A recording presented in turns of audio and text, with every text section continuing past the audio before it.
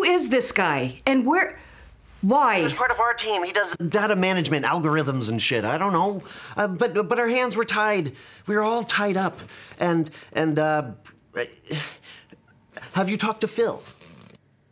Leeds? Phil Leeds. He was the one. He came to us and he asked for four or five files on people, and we gave him the four or five files or something like that, and then he chose that individual. He made the call. He made the call. That damn right he made the call, and he is one of yours. He chose this guy. Yeah. So you should talk to Phil.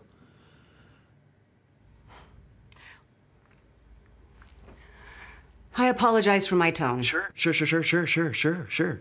Uh, and if uh, you need anything in the future, don't hesitate to call, Evelyn. Thank you. Thank you. Yes. And, um, yeah.